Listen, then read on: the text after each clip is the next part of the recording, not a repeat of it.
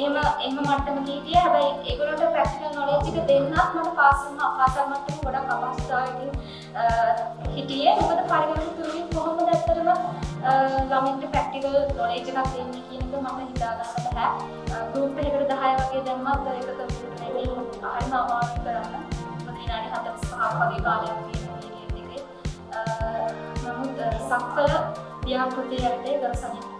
ප්‍රේමදාස මහත්මයා විසින් අපේ පාසලට පරිගණක පහ ඒ වගේම සුදුරු පන්ති කාමර සෙට් එක යටතේ ස්මාර්ට් බෝඩ් එකක්.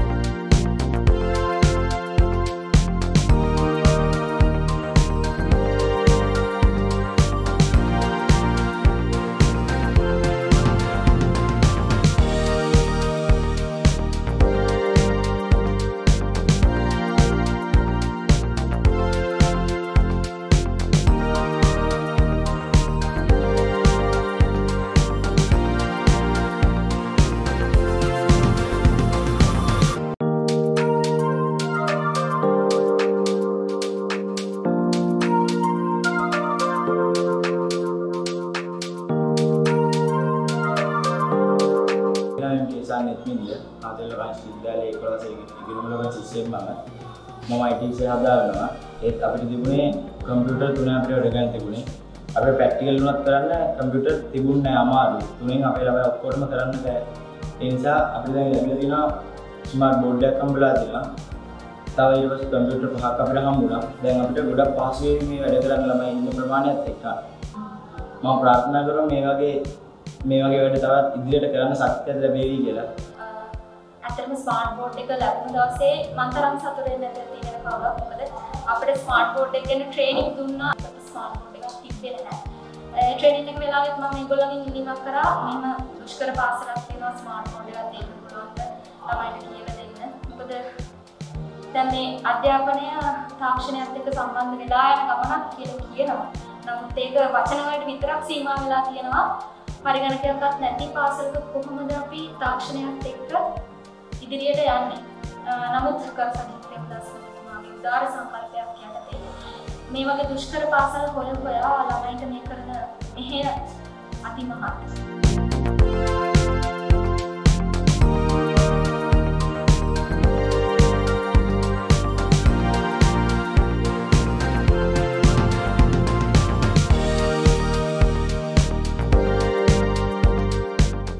මේ සක්වල එකසිය දාසවෙනි පියවර මේ පාසලට ලබා දෙන්නට යන බොහොතේ එක්තරා පාර්ශයක් ඇවිල්ලා කියලා තියෙනවා මේවා බාරගන්න අවශ්‍ය නැහැ අපි මේවා ලබා දෙන්නම් කියලා.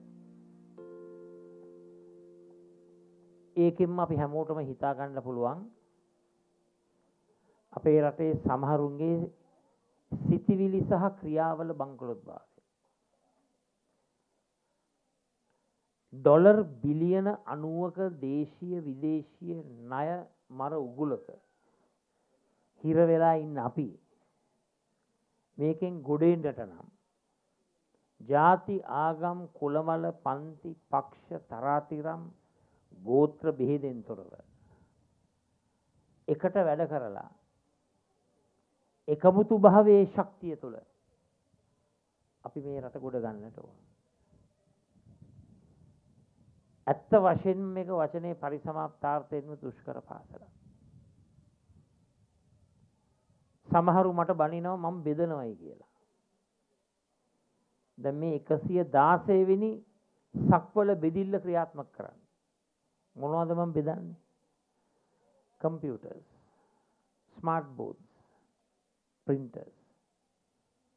තව අපි බෙදනවා ශබ්දකෝෂ.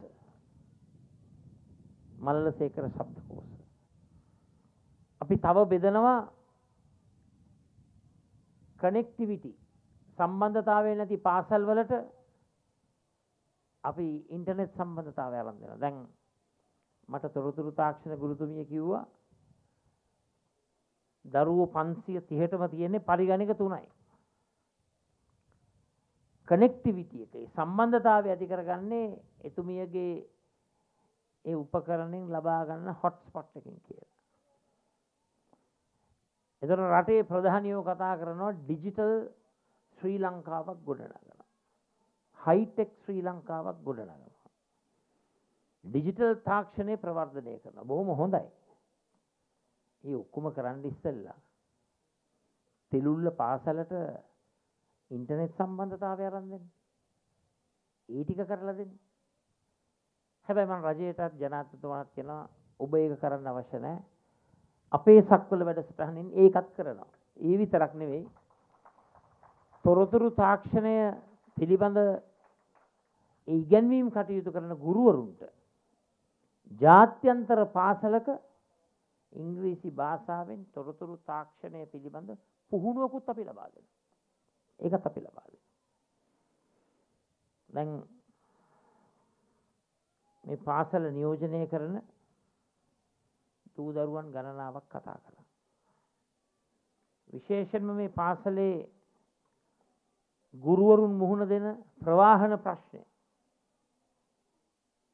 පැහැදිලිව සඳහන් කළා. මම මේක පිළිබඳව මමත් දිලිප් පෙදාරච්චි මන්ත්‍රීතුමත් පාර්ලිමේන්තුව තුළ නගන්න පුළුවන් ලොකුම හඬ නගලා විශේෂයෙන්ම මේ ගුරුවරුන්ට ලබා දිය යුතු ප්‍රවාහන සේවාව ලබා දීම තුළින් දූදරුවන්ගේ අධ්‍යාපනයේ ගුණාත්මක භාවය ශක්තිමත් කරන්නට අපි කටයුතු කරන්න. ඒ වගේම මගේ පියාණන් සිරියාගම කියන්නේ උදාගමක් බිහිවුණු ප්‍රදේශයක්. මගේ මතක හැටියට ගෙවල් 75ක උදාගමක්. එදා ලබා දුන්නු වතුරු ටැංකිය මම හිතන්නේ මෑත කාලේ නවීකරණයට ලක් වෙලා නැහැ. මමත් උත්සාහ දරුවා මේක නවීකරණය කරන්න ඇත්ත වශයෙන්ම මුදල් මගේ අමාත්‍යංශෙන් අනුමත කරලා තිබෙන මොහොතක තමයි ඇත්ත වශයෙන්ම ජනාධිපතිවරණයකට මුහුණ දීලා දැන් බොහෝ දෙනෙක් ඡන්දෙ දුන්නේ සජිත් ප්‍රේමදාස දුන්නු නිවාස ණය කපා හැරගන්නනේ. එක රුපියලක්වත් එක තඹ සතයක්වත් කැපිලා ගිහිල්ලා නැහැ. දැන් ගෙවල් ගාන එනවා ආපහු ණය කරගන්න වැඩිපුර පොලියකුත් එක්ක. කෙසේ වෙතත් විශේෂයෙන්ම මේ පාසලේ ඉල්ලුමක් තිබෙනවා ආරෝ ප්ලාන්ට් එකකට. මම කොහොම හරි දහනපතියෙක් සම්බන්ධ කරගෙන මට බොරුවට කියන්න බෑ අහවල් දින වෙනකොට කරන්නම් කියලා. ඒ මුදල් සම්පත සොයාගත්තයින් පස්සේ මොකද ඒකට යනවා 45 ලක්ෂයක්. ආරෝ ප්ලාන්ට් එක. ඒ අතරතුර මම හිතන්නේ විදුහපතිතුමාට සිද්ධ වෙනවා මේක නඩත්තු කරන්න වැඩසටහනක් ක්‍රියාත්මක කරන්න. හැබැයි ඔබ බලාපොරොත්තු වෙන ඒ ආරෝ ප්ලාන්ට් එක කොහොම හරි මේ පාසලටම ලබා දෙන්නට දිනවකවුණු කියන අමාරුයි. නමුත් වැඩේ කරනවා කියන එක මම මේ අවස්ථාවේ ප්‍රකාශ කරනවා. තවත් එකක් මම වැඩේ කරන්නට අත ගැහුවා ඊට පස්සේ ආණ්ඩුවෙන්නුත් මේක ලැබෙන්නට ඉඩ කඩක් තියෙනවා. ඉතින් ඒකත් ලොකු දෙයක් නේ. කවුරු කරත් සේවාව තමයි ඉෂ්ට සිද්ධ වෙන්නට ඕන. දරුවෝ කීප දෙනෙක් නර්තනයක නියැලුණා. නර්තන කටයුතු වලට ශක්තිය ලබා දෙන ඒ ගුරුතුමිය එක මම කතා කරා. නර්තනයට ඇඳුම් කට්ටල නැහැයි කියලා කිව්වා. අද දවසේ ඒ වෙනුවෙන් මේ ලබා දෙන ශක්තියට අමතරව ඒ නර්තන ඇඳුම් ලබා ගැනීම සඳහා රුපියල් ලක්ෂයකුත් මම පරිත්‍යාග කරනවා කියන එක මම මේ අවස්ථාවේ ප්‍රකාශ කරනවා. ඉතින් මේ හැමදේම කරන්නේ නිදහස් අධ්‍යාපනය ශක්තිමත් කරන්න. අද අපේ රටේ තියෙන්නේ යල් පැන ගිය අධ්‍යාපන ක්‍රමයක්. මේ අධ්‍යාපන ක්‍රමය වෙනස් වෙන්නට අපි අපේ රටට ඉංග්‍රීසි භාෂා කේන්ද්‍රී අධ්‍යාපනය මුල් කොටගෙන රජයේ පාසල් දහදාස් එකසිය විසිහයම සුහුරු පාසල් බවට පත් කරන්නට ඕන. ස්මාර්ට් ස්කූල්ස් බවට පත් කරන්නට ඕන. මේ වසර හැරුම් ලක්ෂයක් නිර්මාණය වෙන වසරක් රටේ ජනතාව නිවැරදි තීන්දුව ගත්තොත් වසර අවසන් වන්නට පෙර පාසල් දහදාස් එකසී විසිහයම සුහුරු පාසල් බවට පත්කොට තෙළුල්ල පාසලත් සුහුරු පාසල බවට පත් කිරීමට මගේ බලාපොරොත්තු රටේ ජනාධිපතිවරය හැටියට පැමිණෙනටයි කියන එක මම මේ අවස්ථාවේ ඔබට ප්‍රකාශ කරන්න කැමතියි. Science, technology, English, engineering, maths, medicine, law, environmental science, management sciences. මෙන්න මේ විෂයන් වලට අපේ දූ දරුවන් යොමු වෙන්නට ඕන. ඩිජිටල් තාක්ෂණය ගැන කයිවාරු ගහන රට තොරතුරු තාක්ෂණය උගන්වන්නේ හය ශ්‍රේණියේ සිට 13 දක්වා පමණයි. ඒතර එක ශ්‍රේණියේ සිට පහ ශ්‍රේණිය දක්වා තොරතුරු තාක්ෂණ අධ්‍යාපනයක් සිද්ධ වෙන්නේ නැහැ. අපේ රජයක් තුල එක ශ්‍රේණියේ සිට 13 දක්වා අනිවාර්යෙන්ම තොරතුරු තාක්ෂණයේ ඉංග්‍රීසි භාෂාවෙන් උගන්වන්නට කටයුතු කරනවා. ඒ වගේම දූ දරුවන්ගේ අනාගතය ගැන හිතලා මේ විෂය අනිවාර්ය විෂයක් බවට පත් කරනවා.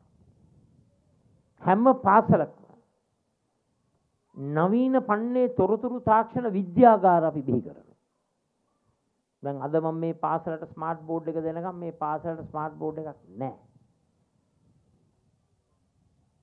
එහෙමනම් අපේ රටේ අධ්‍යාපනයේ සම්පත් බෙදී යාමෙත් බරපතල ගැටලුවක් තිබෙනවා. මේ සිරියාගම ගූන්දල මාගම කෝංවැලෑන ආදී ගම්මාන හල්මිල්ලාව විවිධ අවස්ථාවන් වලදී අලිමිනිස් ගැටුමටත් ලක් වෙනවා. දුෂ්කරතා රසක් මැද්දේ අතිමහත් බහුතරයක් ගොවිතැන් කරමින් මේ දූ දරුවන්ට හොඳ අධ්‍යාපනයක් හොඳ අනාගතයක් හොඳ කලදසාවක් උදා කරන්නට ඒ දෙමව්පිය උත්සාහ දරන්නේ. දෙමව්පියන්ගේ උත්සාහයට අතිමහත් ධෛර්යයක් ශක්තියක් එකතු කරමින් මේ රටේ අධ්‍යාපන ක්‍රමය අපි ශක්තිමත් කරනවා. නූතනවාදී කරනවා. නවීකරණය කරනවා. වැඩි දියුණු කරනවා. මම දකිනවා මේ පාසලේ හොඳ දක්ෂ දරුවෝ ඉන්නවා. RP ලෝෂිත දරුවා කතා කරන්නට ගීත ගායනා කරන්නට ඒ දක්ෂ එක දරුවෙක්. 530කට වැඩි ප්‍රමාණයක් දරුවෙක්. මේ හැම දරුවෙක්ම දක්ෂයි. එන මේ දක්ෂ දරුවන්ට නිසි අධ්‍යාපනය දෙන්නට ඕන. නවීන පන්නේ අධ්‍යාපනය දෙන්නට ඕන. දැනුම කියන්නේ ආයෝජනයක්. මේ උපකරණ ලබා දෙන එක නිකං හුදෙක් බෙදිල්ලකට අර්ථකථනය කරන්නට එපා. කවුද මේ වැඩසටහන් වලට විරුද්ධව කතා කරන්නේ? මේ වැඩසටහන් වලට විරුද්ධව කතා කරන්නේ කාඩ්බෝඩ් සමාජවාදිය. ඇයි කාඩ්බෝඩ් සමාජවාදියෝ කියන්නේ? මේ සමාජවාදියෝ කතා කරනවා සමාජ විප්ලවය ගැන. සමාජ සාධාරණත්වය ගැන. යුක්තිය ගැන. හැබැයි එහෙම කතා කරලා ඒගොල්ලෝ විරුද්ධ වෙනවා ඉංග්‍රීසි භාෂා කේන්ද්‍රීය තොරතුරු තාක්ෂණ අධ්‍යාපනයක් ක්‍රියාත්මක කරනවාට. හැබැයි තමන්ගේ දරුවට හොඳම ඉංග්‍රීසි භාෂාවෙන් තොරතුරු තාක්ෂණය උගන්වනවා පෞද්ගලික පාසල්වල සහ පෞද්ගලික විශ්වවිද්‍යාල. ඒකයි මම කියන්නේ කාඩ්බෝඩ් විප්ලවවාදීන් කියලා. අපි අධ්‍යාපනය ඇති කරන්නට යන්නේ කාඩ්බෝඩ් විප්ලවයක් නෙවෙයි. සාධනීය විප්ලවයක්. ඒ විප්ලවය හරහා අද අධ්‍යාපනයේ තිබෙන බෙදීම අපි ඉවත් කරනවා. අනිවාර්යෙන්ම අධ්‍යාපනයේ බෙදීමක් තියෙනවා. මට කියන්නකො බලන්න. තෙලුල්ල පාසලෙන් දරුවෙක් ඉල්ලුම් පත්‍රයක් දැම්මොත්ද කොළඹ රාජකීය විද්‍යාලයෙන් දරුවෙක් ඉල්ලුම් පත්‍රයක් දැම්මොත්ද? ඔය මහා ලොකු ලොකු කොම්පැනි තියෙනවා බැංකු තියෙනවා. මොකද්ද ප්‍රතික්ෂේප වෙන්නේ? මොකද්ද පිළිගන්නේ? මොකද්ද ඇත්ත කතාව? රාජකීය කිව්වොත් ආනන්ද කිව්වොත් නාලන්ද කිව්වොත් ඩස්ෙන නායක පාසල කිව්වොත් ඒවට තියෙනවා විශේෂ සැලකිල්ලක්. විශේෂ ප්‍රතිපාදන තියෙනවා. නමුත් ඔබගේ පාසලට යුතුකම ඉෂ්ට වෙනවාද? සාධහනත්ව ඉෂ්ට වෙනවාද? ඇත්ත වශයෙන්ම නෑ. ඒ නිසා අපි විශ්වාස කරනවා මේ රටේ අධ්‍යාපන ශේෂත්‍රයේ වැඩ පිළිවෙල ක්‍රියාත්ම කිරීම පිළිබඳව අධ්‍යාපන ඇමතිවරය විතරක් නෙවේ රටේ නායකත්වය දරන පුද්ගලත් වග කියන්නට ඕන. එනිසා අපේ අධ්‍යාපන ශේත්‍රයේ භාරව කටයුතු කරන රෝහිණී කවිරත්න මැතිනි. එතුමියත් මමත් අත්වැල් බැනගෙන.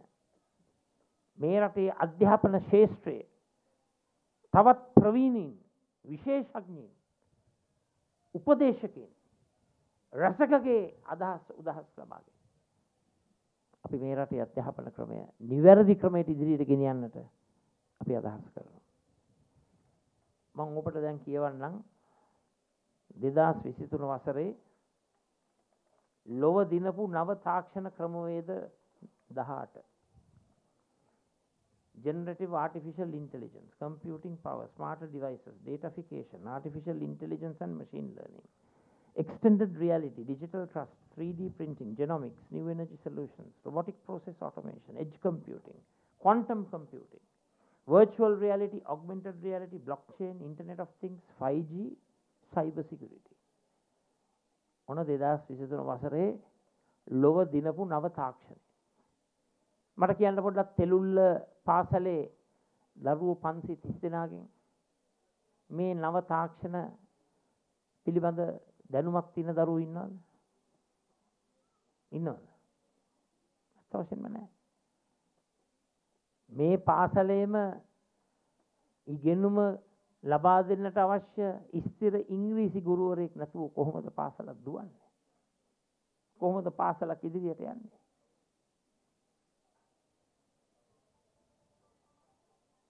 මේක දෙමව්පියන්ගේ වරද විතරක් නෙවෙයි වැඩිහිටියන් වන අපේ වරද. දෙමව්පියෝ කතිරේ ගහනවා විවිධ පැටිකට දිහා බලලා කතිරේ ගහලා පත් වෙන නායකයෝ තමන්ගේ දරුවන්ට ප්‍රභූ අධ්‍යාපනයක් රටේ සෙසු ජනතාවගේ දූ දරුවන්ට බාලතලයේ අධ්‍යාපනයකුත් ලබා දෙන්නට නිර්මාණය කරපු ක්‍රමයක් තුළ තමයි අපි අද ආර්ථික වශයෙන් පමණක් නෙවෙයි අධ්‍යාපනයනුත් බංකොලොත් භාවය කරා යමින් සිටින්නේ. අද ඉංග්‍රීසි මලලසේකර ඩික්ෂනරිස් පහක් පරිත්‍යාග කරන පුස්තකාලය. හැම දරුවෙකුටම කියනවා මේ දුෂ්කර ප්‍රදේශයේ ජීවත් වන ඔබ දිනපතාම අලුත් ඉංග්‍රීසි වචන 10ක් ඉගෙන ගන්න. මේ මගේ තාත්තා මට දුන්න උපදේශක්. අලුත් වචන 10ක් ඉගෙන ගන්න. ඒවා වාක්‍ය බවට නිර්මාණය කරන්න. ඉගෙන ගන්න වචන 10ට තවත් සමාන වචන ඉගෙන ගන්න. සිනොනිම්ස්. අපි ලබා දෙන ස්මාර්ට් බෝඩ් එක කම්පියුටර්ස් පාවිච්චි කරලා අන්තර්ජාල පහසුකමත් විදුහල්පතිතුමා ලබා දෙන්න. මේ දූදරුවන්ට පෙන්වන්න CNN news, BBC news, Al Jazeera news, CGTN news, Russia Today news, NDTV news, ඉංග්‍රීසි පත්තර කියවන්නට ඒව ඩවුන්ලෝඩ් කරගන්න පුළුවන්. මේ දූ දරුවන්ට අනිවාර්ය කරන්න ඒ දේ කරන්න. දරුවෝ තරහ වෙයි මහත් එක්ක මෙහෙම කිව්වට. නමුත් ඔබගේ අනාගතය ගැන හිතලා මම මේ කතන්දරේ කියන්නේ. ඉංග්‍රීසි භාෂා කේන්ද්‍රීය අධ්‍යාපනයට අපි ලොකු ශක්තියක් දෙන්නට ඕන. එසේ නොකළහොත් අපි කරන්නේ 41 ලක්ෂයක් රජයේ පාසල් 10126ක ඉගෙනුම ලබන දූ දරුවන්ගේ මූලික අයිතිය මානව අයිතිය අමු අමුවේ උල්ලංඝනය කිරීම. ඒකට අපි සූදානම් නැහැ. එනිසා විශේෂයෙන් මත දවසේ මන් තෙලුල්ල පාසලේ දූ දරුවන්ට දෙමව්පියන්ටත් විදුහපතිතුමා ප්‍රමුඛ ගුරු මණ්ඩලයටත් මං අලුත් බලාපොරොත්තුවක් ලබා දෙනවා. ඒ බලාපොරොත්තුව තමයි තවදුරටත් තෙළුල්ල පාසල හෝ අනෙකුත් දුෂ්කර පාසල. මේ දුෂ්කරතාවේම තෙරපිලා මිරිකිලා හිරවෙලා ඉන්නට අවශ්‍ය නැහැ. මේ දූදරුවන් පන්සිය තිහට ලැබෙන පීඩනය අසහනය අපි ඉවත් කරන්නට ඕන. බරපතල ගුරුවරුන්ගේ ඌනතාවයක් තිබෙනවා මේ පාසල. ඔබ දන්නවද රටේම ගුරුහිංගය හතලිස් දාහයි. හතලිස් දාහක් ගුරුහිංගේ තිබෙන මොහොතක මං ගෞරුව කරනවා. ගුරු සේවය ඉන්න අයටත් ඒ වගේම ඒ අඩුපාඩුව මගහරවා ගන්නට ශක්තිය ලබා දුණු සංවර්ධන නිලධාරීන්ට ලොකු සේවාවක් කරනවා. අපි මේ කරන අධ්‍යාපනයේ විප්ලව ඉදිරියට ගෙන යන්නට. අධ්‍යාපනයේ මානව සම්පත අපි ආරක්ෂා කරන්නට. කොටස් හතකට අධ්‍යාපනයේ මානව සම්පත අපි හඳුනාගෙන තිබෙනවා. අනධ්‍යන ගුරු විදුහල්පති ගුරු උපදේශක ගුරු අධ්‍යාපනඥ ගුරු සංවර්ධන නිලධාරී අධ්‍යාපන පරිපාලන. මේ කොටස් හතේම සාධනීය ප්‍රශ්නවලට සාධනීය ගැටලුවලට අපි විසඳුම් ලබා මම මේ පාසලට එන්නට පෙර පොඩ්ඩක් එහාට ගිහිල්ලා මං හදපු වෛද්‍ය මධ්‍යස්ථානයේ වැඩ කටයුතු පොඩ්ඩක් බලලා ඉන් පොඩ්ඩක් එහාට ගිහිල්ලා එනකොට මම දැක්කා බෝඩ් එකක ගහලා තියෙන මෙන්න මෙහෙම දෙයක්. 2024 නව වසරට සුබපතමින් රට බංකොලොත් කරපු අයට සාප වේවා කියලා බෝඩ් එකක් ගහලා තියෙනවා මේ ගමේ. දැකලා තියෙනවද? මම දැක්කා ඒ බෝඩ් එක. දැන් බලන්න මිත්‍රවරුනි ඔබගේ වරම ලබාගෙන වැඩිහිටියන්ගේ වරම ලබාගෙන රාජ්‍ය බලය අතට අරගෙන මේ රටේ හැම බිම් අඟලක්ම එක පවුලකට අයිති කරගෙන ඔබගේ ජීවිතය පාලනය කිරීම ඒ මහා බල කඳවුරේ කණ්ඩායම පවුල් සංස්ථාව අතට අරගෙන බලන්න ආර්ථික ත්‍රස්තවාදීන් රට බංකොලොත් කරපු ආකාරය. මේ ආර්ථික ත්‍රස්තවාදයට වගකිව යුත්තන් සියලු දෙනාම. අපි අධිකරණය හමුවට ගෙනෙනවා. මේ ආර්ථික ත්‍රස්තවාදීන් රටට අහිමි කරපු දේපල සම්පත. අපි නැවතත් වරක් අපේ රටේ දූදරුවන්ට පුරවැසියන්ට ලබා දෙනවයි කියන එක මම මේ අවස්ථාවේ ප්‍රකාශ කරනවා. දූෂණයට වංචාවට හොරකමට අපේ රට ඉඩක් තබන්නේ නැහැ. දූෂණය වංචාව හොරකම තුලින් මේ රටට දේපල සම්පත් අහිමි කරපු ඒ හොරු රැළට මේ වසර අවසන් වෙන විට අධිකරණය හමුවට ඇවිල්ලා තමන් කරපු හොරකම් වලට උත්තර බඳින්න සිද්ධ වෙනවයි කියන එක මම මේ අවස්ථාවේ ප්‍රකාශ කරන්න කැමතියි. හොරු අධිකරණයට ගියාට පමණක් මදි. හොරු එක්ක ඩීල් දාන්න හොඳ නැහැ. දැන් මට බය නැතුව කියන්න පුළුවන් මමත් මගේ කණ්ඩායමත් කිසිම දවසක හොරු එක්ක ඩීල් දාලා නැහැ. මම කවදාවත් මේ රට බංකොලොත් කරපු ආර්ථික ත්‍රස්තවාදීන් ජනාධිපති කරන්නට ලයිට් කණු බඩ ගාලා පෝස්ටර් අලවලා ඒ වැඩවල අපි නිරත වුණේ නැහැ. කවදාවත් අපි ගෙන්ගෙට ඇවිල්ලා නැහැ රට විනාශ කරපු ආර්ථික ත්‍රස්තවාදීන් නෙමෙයි. ඇත්ත වශයෙන්ම ඒ සුපිරිඳු සහ සුපිරිසිදු සහතිකය අපිට තිබෙනවා.